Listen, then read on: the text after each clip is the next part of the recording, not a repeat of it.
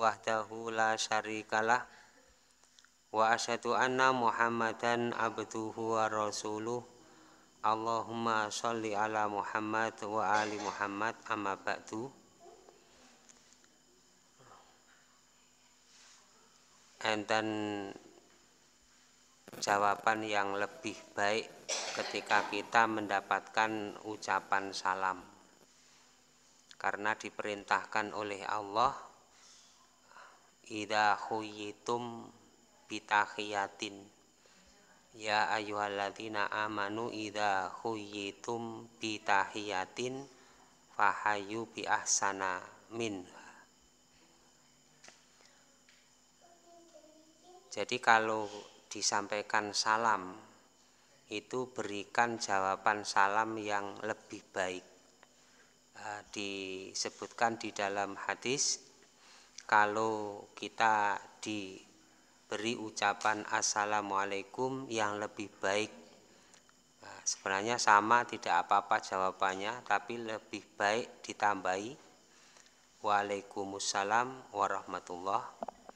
Atau kalau misalnya Assalamualaikum warahmatullah maka boleh dijawab sama atau lebih ditambahi Waalaikumsalam warahmatullah wabarakatuh.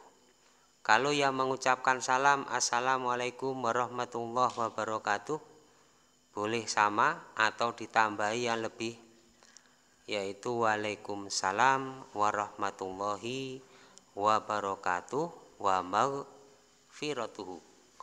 Nggih. Waalaikumsalam warahmatullahi wa maghfiratuhu Bapak Ibu muslimin rahimakumullah ah, kita bersyukur kepada Allah Subhanahu wa taala kita masih ah, diberi nikmat iman dan Islam. Salah satu di antara wujudnya adalah kita merasa terpanggil dan merasa senang. Ketika kita ini diperintah untuk melonggarkan waktu-waktu kita di dalam majelis-majelis ibadah dan amal soleh. Karena itu adalah perintah dari Allah ya. Ya ayuhalladzina amanu idza qila lakum Wahai orang-orang yang beriman, jika ah, diperintahkan kepada kalian atau dikatakan kepada kalian, tafasahu fil majalis. Ah, jadi lapangkanlah atau longgarkanlah oleh kalian fil majalis di majelis-majelis. Masuk majelis musyawarah atau majelis ilmu. Faf sahu maka lapangkanlah itu adalah perintah dari Allah jadi kalau kita diundang untuk mendatangi majelis ilmu maka itu menjadi kewajiban kita untuk memenuhi undangan untuk mendatangi sekaligus mengamalkan perintahnya Allah. Jadi tafasahu fil majalis fafsahu. Jadi kalau diperintah longgarlah kalian di dalam majelis-majelis maka longgarkanlah oleh kalian. Karena apa? Yafsakillahu lakum. Jadi Allah akan melapangkan melonggarkan ah, kepada kalian. Jadi akan dilapangkan dilonggarkan hati kita. Demikian juga ketika Allah Subhanahu wa taala mengatakan dan memerintahkan kul bifadlillahi wa birahmatihi wa bidzalika falyafrahu. Jadi dengan karunia Allah dan rahmat Allah. Karunia Allah dan rahmat Allah itu adalah Al-Qur'an. Sunnah Nabi al-Islam ini itu adalah karunia dan rahmat dari dari Allah. Wabidalika maka dengan sebab itulah fal yafrohu supaya merasa senang. Jadi orang-orang yang beriman itu supaya merasa senang. Dan kita akan mengetahui Islam dengan benar itu kalau kita membaca, mempelajari, mengenali dengan sumbernya. Jadi Al-Quran disampaikan, dibacakan, kita dengar. Kemudian hadis-hadis Nabi Sallallahu Alaihi Wasallam kita baca, kita pelajari, kita ambil pelajaran. Dan itulah kata Nabi Sallallahu Alaihi Wasallam sebaik-baik pembicaraan. Sebaik-baik perkara yang dibicarakan, yang dibahas, yang dibisik-bisikkan. Itu adalah Al-Quran dan hadis Nabi Shallallahu Alaihi Wasallam. Jadi kalau kita ini berkumpul, kemudian kita ini membaca Al-Quran, dibacakan Al-Quran, atau hadis-hadis Nabi Shallallahu Alaihi Wasallam itulah sebaik-baik perkara yang akan mendatangkan kebaikan bagi kita. Makanya sering kita dengar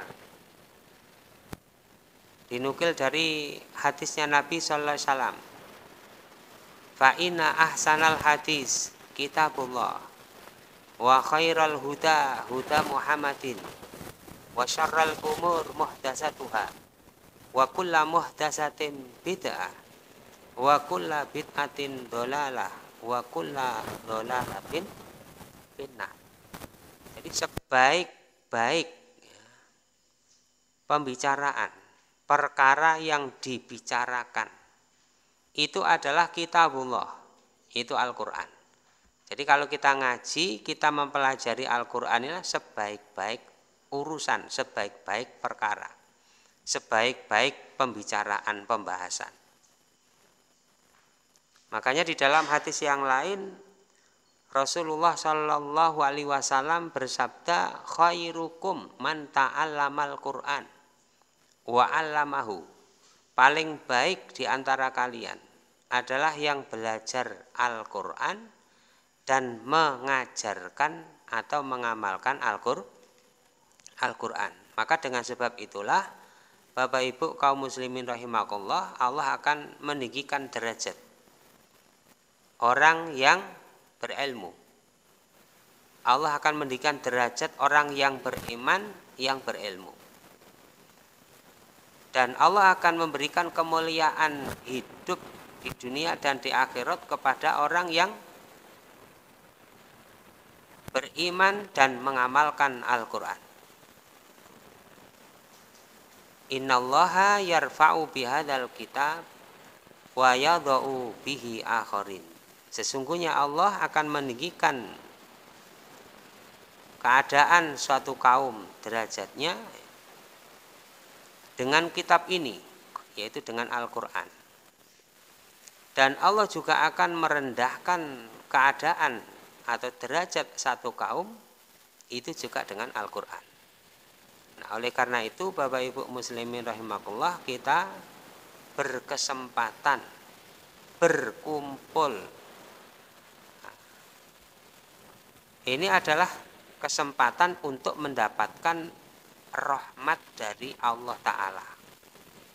Ini adalah sebaik-baik perkara, sebaik-baik amalan yang perlu untuk kita perhatikan. Perlu untuk kita penting-pentingkan. Meskipun sebagian besar kurang memperhatikan, kurang mementing-mentingkan dan itu akan merasakan manfaatnya kalau kita ini sudah menghadap kepada Allah Subhanahu wa taala. Ini tidak bisa dipungkiri, tidak bisa menolak. Apa yang bisa dibanggakan ketika kita menghadap kepada Allah? Yang kita haturkan kepada Allah taala itu apa? Dunia tidak ada dunia lagi. Harta kekayaan, jabatan, pangkat, kedudukan. Nilai-nilai dunia itu tidak ada nilainya di hadapan Allah Ta'ala. Ida matal insan, ketika seseorang itu sudah meninggal dunia, ing qata'a amaluhu maka terputuslah semua amalannya illa min salas kecuali dari tiga illa salas kecuali dari tiga yang tidak terputus tiga. Artinya apa? Ada amalan yang menyertai seseorang meskipun sudah meninggal dunia. Jadi idza matal insan ing qata'a amaluhu illa min salasin. Apa amalan yang menyertai si mayit yang dibutuhkan? Si mayit yang bisa memberikan pertolongan, bantuan-bantuan tiga amalan. Sodakoh jariah. Sodakoh yang dikeluarkan ikhlas karena Allah subhanahu wa ta'ala maka mengalir pahalanya. Atau sodakoh yang manfaatnya bisa dirasakan oleh yang lain. Itu akan mendatangkan kebaikan bagi yang bersangkutan. Selama hidupnya bersedekah. Kemudian yang kedua, yang kedua adalah au ilmin yuntafa'u bihi. Ilmu yang bermanfaat. Ilmu yang bisa diambil manfaatnya. Maka sebaik-baik ilmu yang wajib dipelajari dan itu pasti mendatangkan manfaat dan kebaikan itu adalah Al-Qur'an dan hadis Nabi Shallallahu Alaihi Wasallam. Itu yang kedua. Kemudian yang ketiga, ya, sodakotun jariyatun amilun tafau bihi awalatun solihin yadau lahu. Kalau punya anak yang soleh. Jadi kalau kita punya anak atau generasi yang soleh, yang beriman, yang soleh, maka meskipun seseorang itu sudah meninggal dunia, maka anak yang soleh itu bisa mendatangkan kebaikan dan man, manfaat bagi yang sudah meninggal dunia. Nah, saniki kalau jenengan nggak ada yoga, ya monggo yoga yogane tidak diajak untuk menjadi anak so soleh. Jadi ingatkan, karena itu yang dibutuhkan. Jadi bukan dunianya, bukan hartanya, bukan, tapi kesolehahannya, kesolehannya. Bapak Ibu Muslimin rahimakumullah, eh, kita sudah banyak mempelajari hadis-hadis di permulaan kitab Riyadus Salihin sampai pada babu sober dan di antara hadis yang akan kita baca, kita pelajari adalah hadis yang berkaitan dengan masalah kesabaran. Menahan diri, menguasai diri, menguasai jiwa, menguasai hawa nafsu. Rasulullah Shallallahu Alaihi Wasallam bersabda, "Laisa syadidu Inna syadidul ladhi yamliku nafsahu indal ghadabi. Artinya adalah tidaklah atau bukanlah orang yang kuat itu yang mudah untuk mengalahkan orang lain. Jadi laisa syadi itu bukanlah orang yang kuat itu bisuro'ah. Jadi orang yang bisa mengalahkan orang lain. Kalau dia adalah pesilat, ya, kalau dia pegulat, kalau dia itu ahli bela diri misalnya, dia mudah untuk mengalahkan orang lain atau menjatuhkan lawannya. Orang kuat itu bukan orang yang demikian. Inna masyadi itu sesungguhnya orang yang kuat itu adalah alladhi yamliku nafsahu orang yang memiliki, orang yang menguasai dirinya. Artinya menguasai jiwanya, menguasai perasaannya, menguasai akal pikirannya. Indal godobi pada saat kemarahan. Jadi pada saat datang waktu marah kemudian kita ini bisa mengendalikan diri kita, menata hati kita, tidak keluar kata-kata penuh kemarahan, juga tidak berbuat dengan anggota tubuh kita melampiaskan kemarahan. Itulah sesungguhnya orang yang kuat. Orang yang sangat kuat itu itulah yang dikatakan oleh Nabi SAW yang mampu mengendalikan diri, yang mampu mengendalikan hawa nafsunya. Hadis ini, Bapak Ibu Muslimin rahimakumullah, menunjukkan bahwa sebenarnya kemarahan itu adalah naluri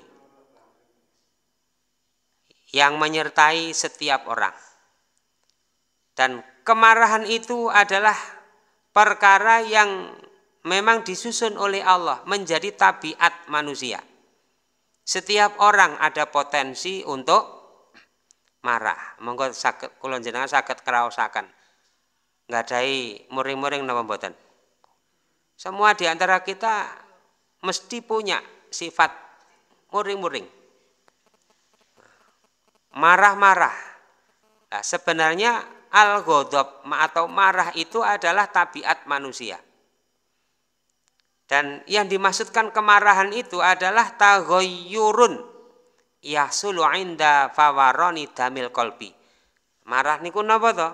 Nek tirose tenggene pengertian bahasa Arab niku marah itu ya perubahan pada seseorang yang terjadi pada saat darah yang ada di hati itu lagi mendidih.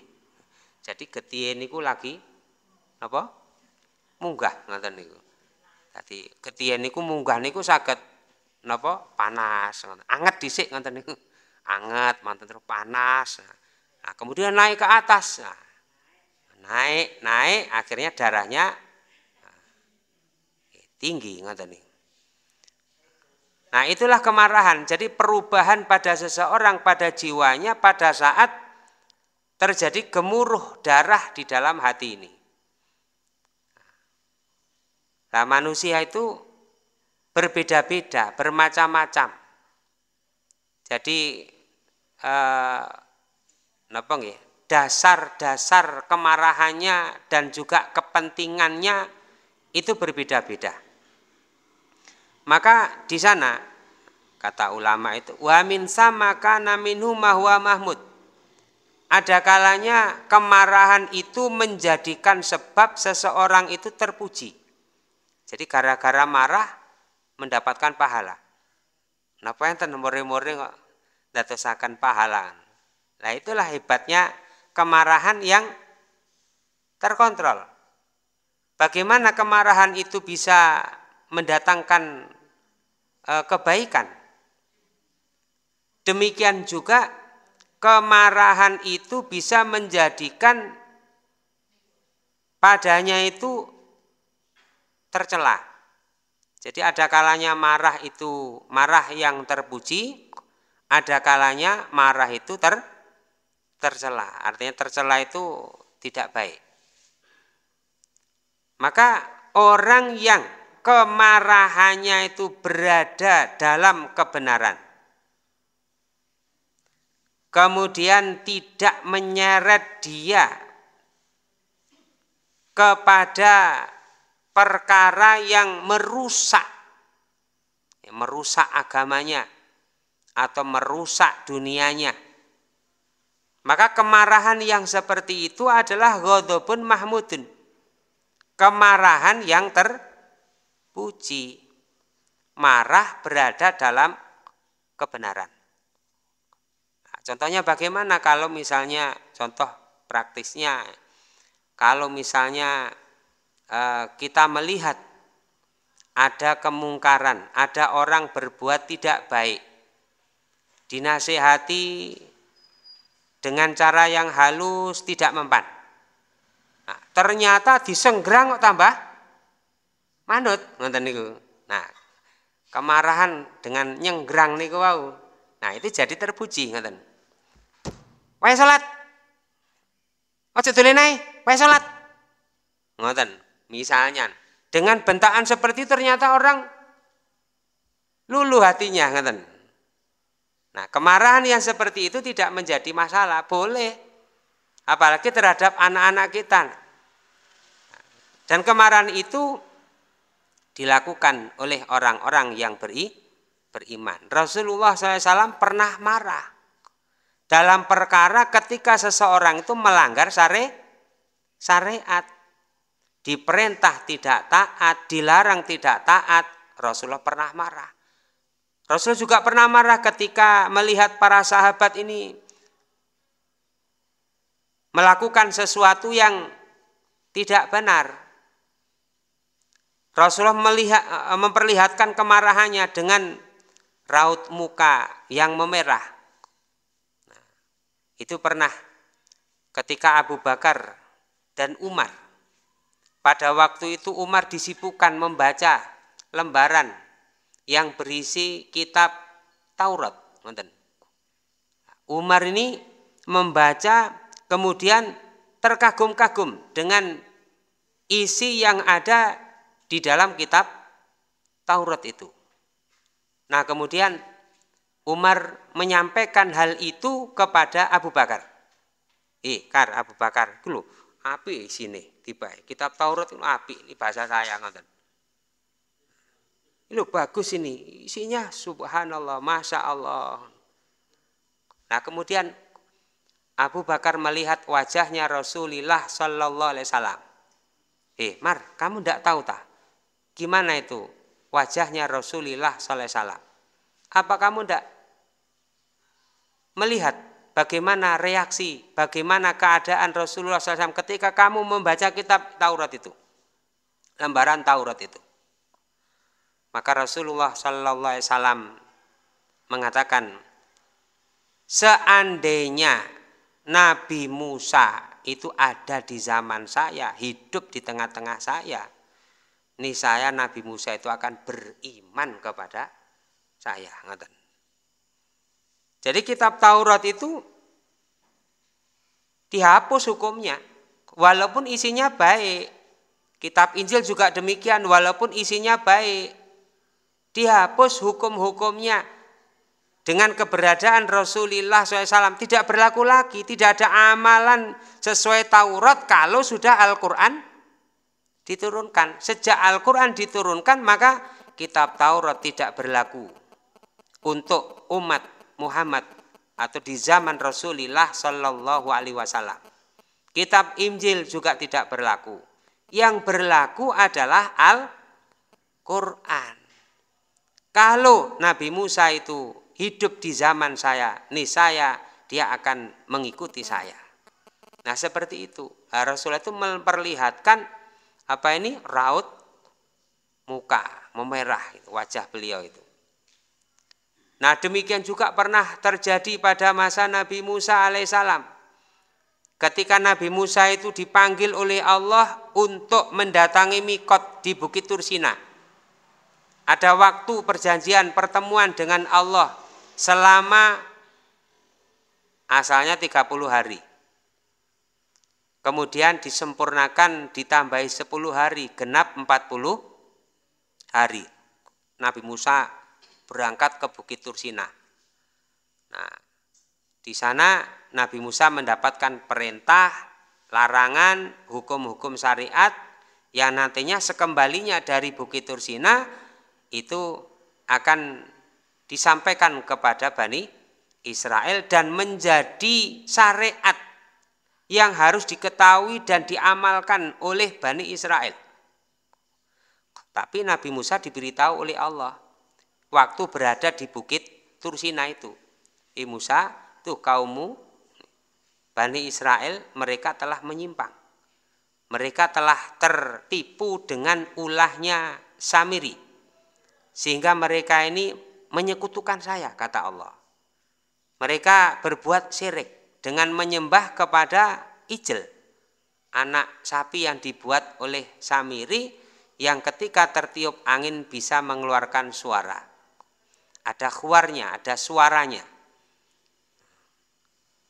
Kemudian selesai masa 40 hari Nabi Musa itu balik menemui Bani Israel ya, kembali dari Bukit Tursina menemui Bani Israel kemudian melihat banyak dari Bani Israel ternyata menyembah kepada patung menyembah kepada ijel menyimpang dari tuntunan syariatnya Nabi Musa melakukan ritual-ritual ritual-ritual yang tidak pernah diajarkan oleh Nabi Musa padahal sebelum kepergian Nabi Musa ke Bukit Tursina, Nabi Musa sudah mewanti-wanti supaya Bani Israel mengamalkan sesuai dengan ilmu yang diajarkan oleh Nabi Musa. Dah, tidak usah uh, cari-cari uh, yang lain, ikuti saja yang saya perintahkan, yang saya ajarkan. Sudah diwanti-wanti, dipeseni begitu.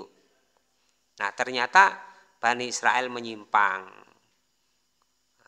tertipu oleh Samiri. Nah, melihat keadaan seperti itu maka Nabi Musa marah. Godoban asifan. Marah disertai dengan kesusahan dan kesedihan. Jadi kalau hatinya itu merasa sakit muring-muring pun kita gitu. kalau orang itu punya kekuatan maka kekuatannya akan dipergunakan untuk melampiaskan kemarahannya. Mudeng bu nggih dan Nabi Musa juga demikian. Mengingatkan kepada Bani Israel sampai Nabi Musa itu memanggil, mendekati adiknya. Sinten adik Nabi Musa? Sinten Bu? Pak, adik Nabi Musa sinten? Nabi Harun. Iya Nabi Harun. Nah niku langsung dipegang niki. Karena orang Arab itu kan berjenggot, tebel-tebel jenggotnya. Ini jenggotnya ini di ngantenakan kepalanya dipegang, kepala dan jenggotnya dicengkewing ngoten Jadi cengkewing ngoten Masya Allah. Ngoten Iki piye kok Bani Israel kok menyimpang? Kok disuruh sholat tidak sholat ngoten. Malah dulinan naik misalnya ngoten. Disuruh menyembah Allah kok malah malah menyembah kepada ijel. Nabi Harun ini dipiting ngoten niku. Jenggote kalih sirahe dijambak rambutnya ngoten niku. Itu bentuk kemarahannya Nabi Musa. Dan itu tidak disalahkan. Nggih lumrah ngoten. Karena apa marahnya Nabi Musa itu karena berada dalam kebenaran. Kenapa kok menyimpang dari tuntunan? Mengapa menyimpang dari syariat? Marah ketika melihat kemungkaran-kemungkaran itu. Nah, itu dibenarkan sampai lembaran-lembaran Taurat hasil oleh-oleh ketika berada di Bukit Tursina itu ada lembaran-lembaran yang tertulis isinya kitab Taurat itu. Seketika itu juga karena kepingin melampiaskan kemarahannya itu lembaran-lembaran dilempar dilempar nonton oleh Nabi Musa. Walaupun pada akhirnya setelah reda dengan ucapannya Nabi Harun ya ibna ummi. Wahai anak ibuku. Ini jangan kau perlakukan saya sama dengan mereka Bani Israel. Kamu tahu sendiri saya ini orang yang lemah. Mereka itu hampir-hampir membunuh saya. Saya tidak punya kekuatan berbeda dengan kamu. Kamu jangan samakan dengan saya. Saya sudah berdakwah saya sudah menyampaikan nasihat-nasihat. Neng nasihat-nasihat itu betul digubris.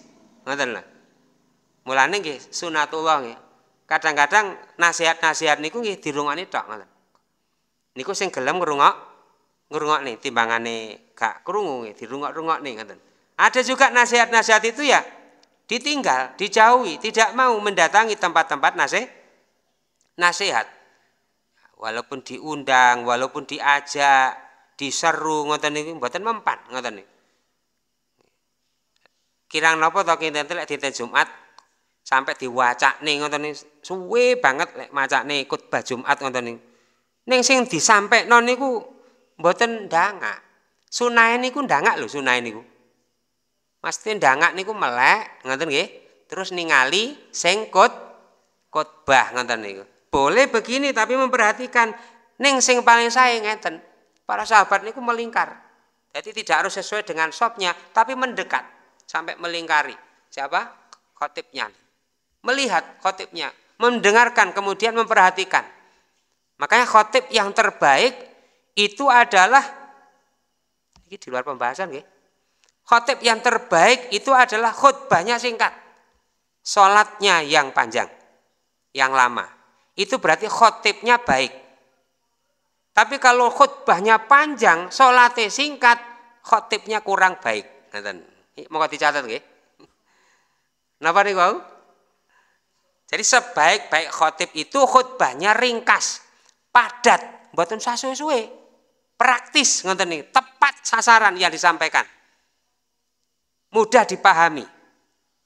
Kemudian sholat Jumatnya panjang, sholat Jumatnya bacaannya panjang, terus lama. Itu adalah khotib yang terbaik. Yang menyampaikan ini bukan dari saya, tapi ini adalah dari hadis Rasulullah Shallallahu Alaihi Wasallam. Rasulullah mengatakan begitu. Kalau misalnya kut baik, kak mari-mari. Akhirnya apa gitu? Napa? Bapak apa sing kut sing tumen derek Jumatan kok ibu pula mboten to nggih? Nah, napa Pak sing jenengan lampahi ngeten-ngeten?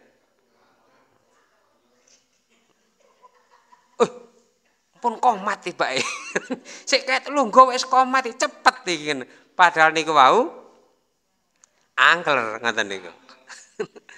Masya Allah ngoten niku. Nah, pun Bansel napa sing kula sampaikan wau, jadi kemarahan Nabi Musa pernah marah. Rasulullah SAW juga pernah marah, tetapi kemarahannya itu pada tempatnya. Marah ketika melihat kemaksiatan, marah ketika melihat kemungkaran. Tetapi kalau kemarahan itu tidak pada tempatnya, yaitu karena memperturutkan nafsunya, sehingga kemarahan inilah yang menjadikan seseorang itu mempunyai sifat yang tercela.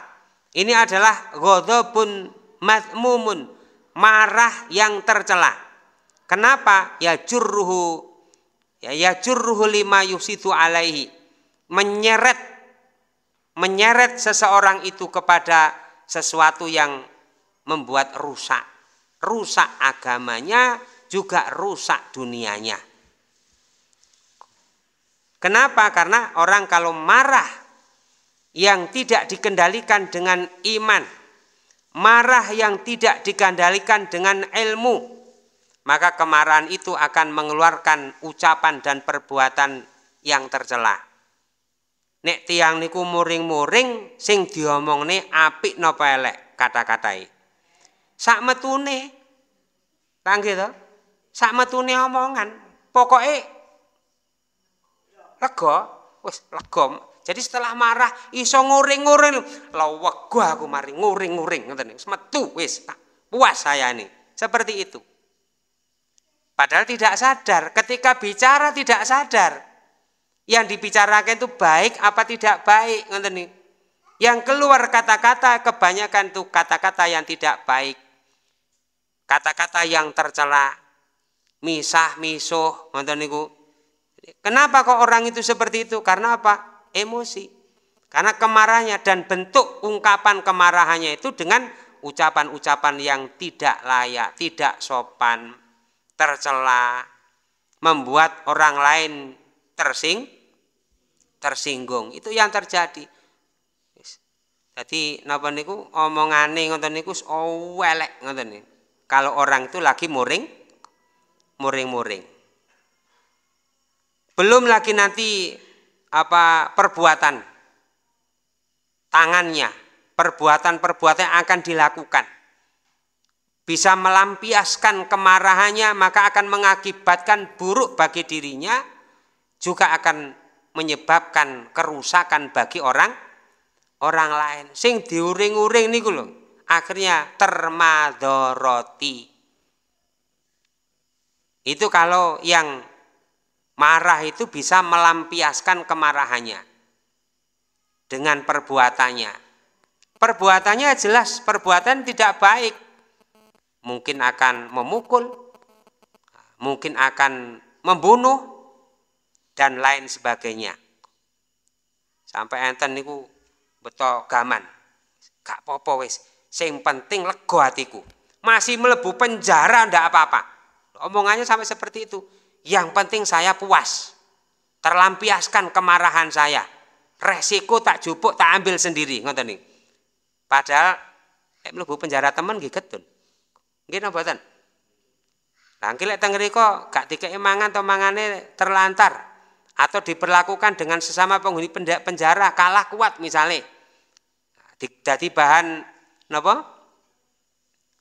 kepuan barangkali demikian. Atau diperlakukan tidak baik secara fisik di sana. Akhirnya nggih nyesel getun nah, mulane tirose Imam Ali radhiyallahu an Imam Ali Amirul Mukminin Iya kawal godoba. Jauhilah kemarahan. Jadi apa pun yang terjadi padamu ketika timbul sifat marah, nek sakit didoi. Pun sampai muring-muring. Kudu muring-muring melayu. Melayu ini maksudnya ngedoi muring, muring menjauhi marah itu. Kenapa? Karena kalau sudah marah itu ada pada kita, fa inna awwalahu jununun wa akhirahu nadamun. Karena sesungguhnya permulaan kemarahan itu adalah sebab menjadikan seseorang itu gila. Jadi tiang niku gila, tiang niku cara kasare napa nggih? Gila niku. Stres utawa tiang niku gendeng nek cara rada kasar ngoten niku niku disebabkan permulaannya karena kemarahan. Mulane kula jenengan pun sampai dilampiaskan, pun diterus-terusaken muring-muring. Niku awale dados tiang stres ngoten niku. Mulane tiang ini muring-muring ngoten niku. Nah niki ketok niki. Niki permulaan. Permulaan gila niku marah dulu ngoten. Wa akhirahu nadamun kata Imam Ali radhiyallahu an karena apa? pada akhirnya adalah penyesalan. Ngoten lho. Asale mau muring-muring dilampiaskan ngoten niku. Muring-muring kali sing estri, sing estri giyepuki ngoten niku. Buri-burine getun wayahe butuh. Lha to akhirnya nggih ngrayu-ngrayu ngoten niku.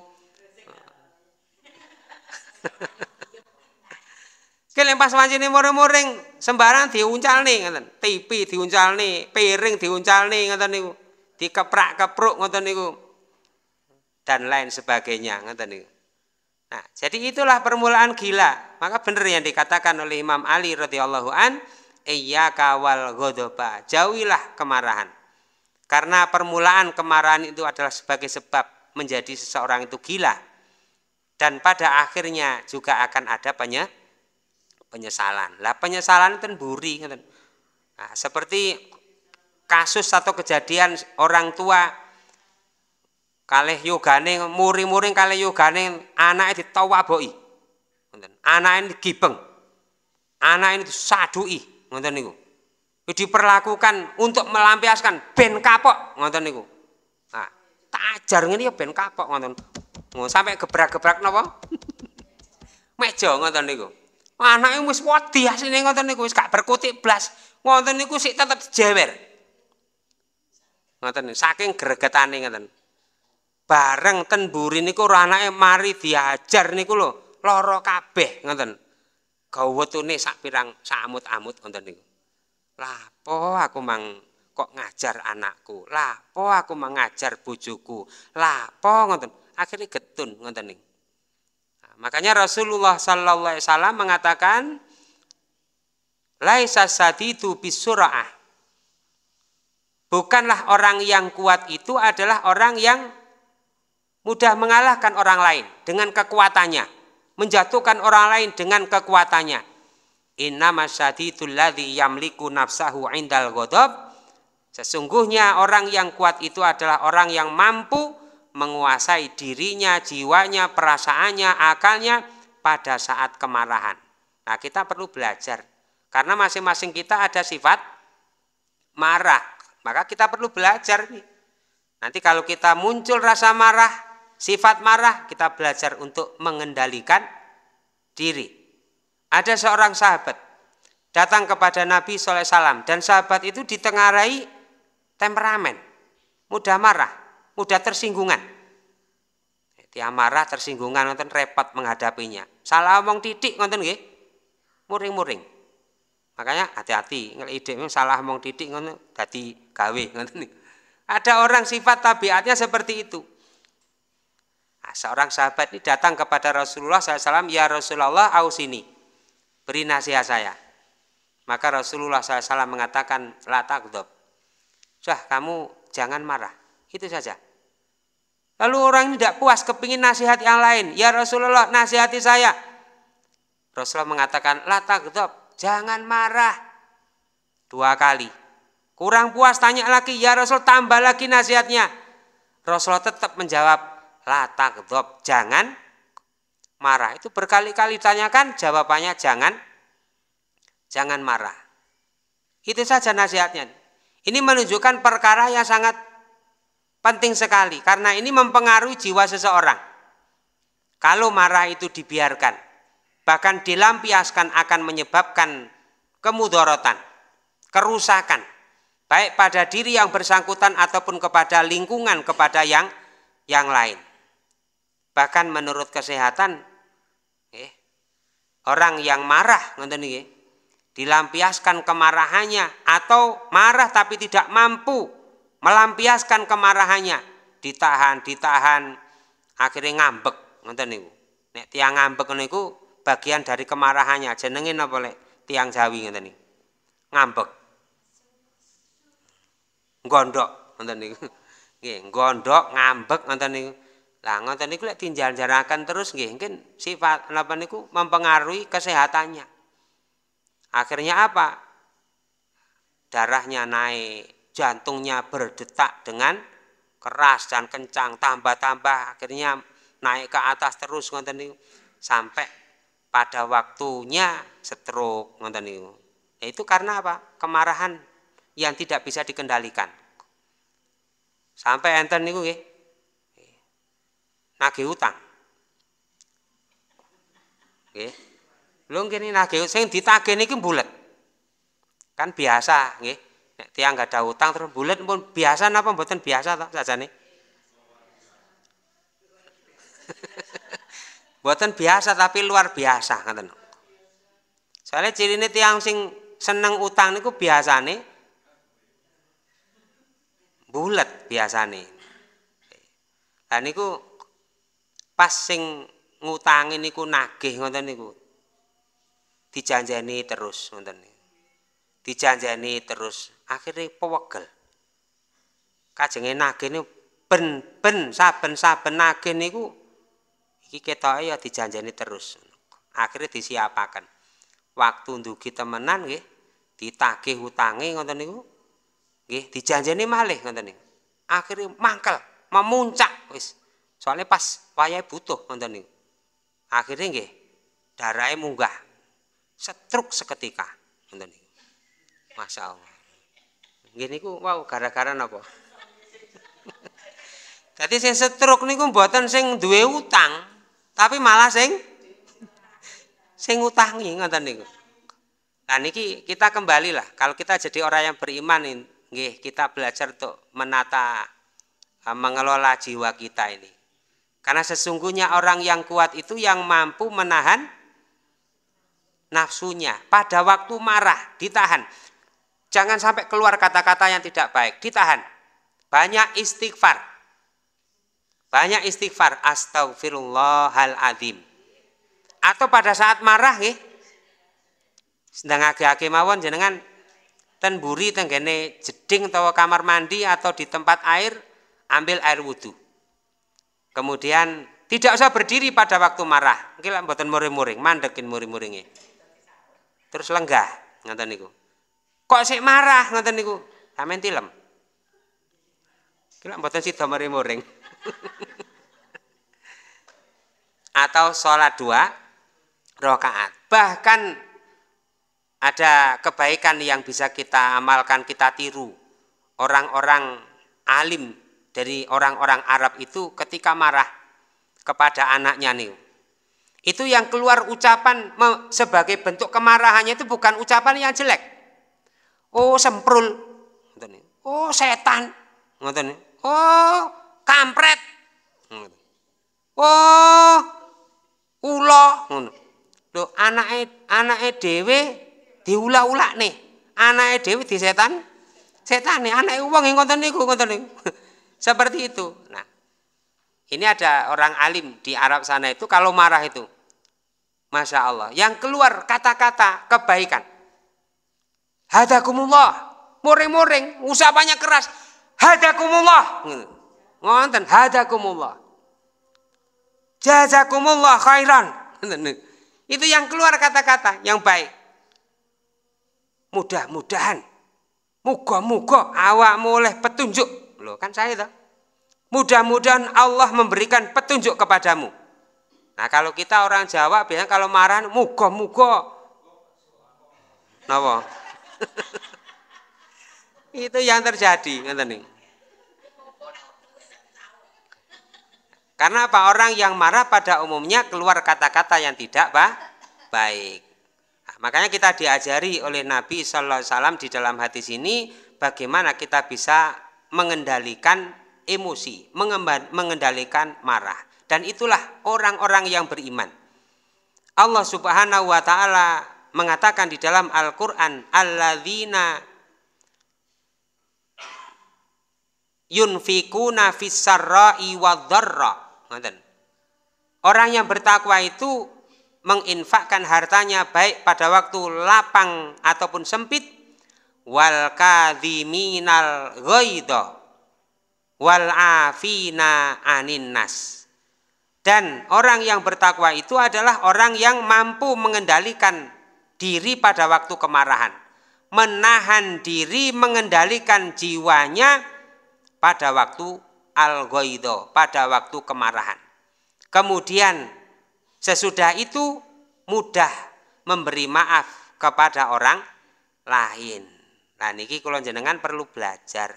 Kadang-kadang ada di kalangan kita niki nek muri-muri ngoten pokoknya kamu gak sepuro sampai mati. Enten mboten ngoten niki. Wis gak sepuro-sepuran, gak tak sepuro ngoten. Tidak saya maafkan ngoten niku.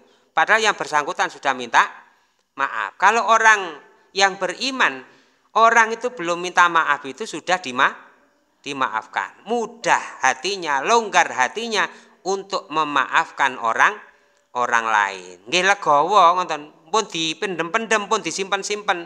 Muri-muri ini pun disimpan, pun dipendem-pendem. Ketemu kali dirungi-rungi ngoten melengos kok. Assalamualaikum. Kadang-kadang seperti itu. Nah, kita rubah. Karena kita membaca hadis Nabi, karena kita diajari oleh Rasulullah sallallahu alaihi wa alihi wasallam. Satu hadis yang kita pelajari, mudah-mudahan ini menjadi tambahan ilmu yang bermanfaat.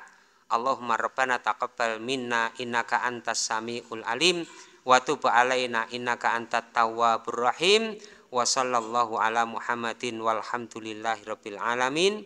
Wassalamualaikum warahmatullahi wabarakatuh